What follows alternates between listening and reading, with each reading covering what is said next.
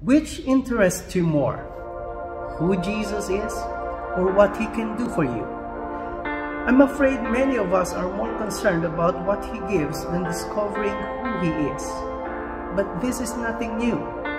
When Jesus walked the earth, the crowds often sought him out for what he can do for them. Even though their needs were quite often legitimate, Christ knew their motives. There is a fine line between using the Lord to get what we want and humbly coming to Him with our needs and struggles.